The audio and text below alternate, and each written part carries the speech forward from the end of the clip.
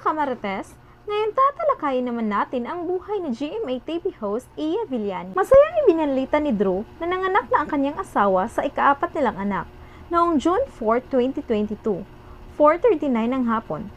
Pinangalanan ng dalawang celebrity couple ang kanilang anak na Astro Phoenix B. Arellano. At walang pag-aalinlangan, ibinahagi nila ang kauna-unahang baby picture ng kanilang anak. Pinost ni Drew ang cute na cute na picture ng anak na si Astro. Sa kasalukuyan, apat na ang anak nila Drew at Iya. Ang panganay ay si Primo, second si Leon, at third naman na only girl na si Alana.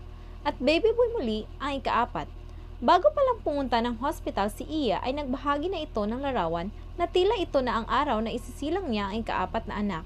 Tapos mga anak ni Iya, nagawa pang mag-video na ang TV host at makikita na napakasimple lang sa kanya. Anya ni Iya, done, baby out. Si Iya ang celebrity host na minaman nila ang panganganak. Nagawa pa ng aktres ang nakagawiang mag-ehersisyo. Sinabi ni Iya na, despite this being my fourth delivery, this one is my longest one. Yet, nagawa pa ng aktres na sumayaw bago ito mag-labor.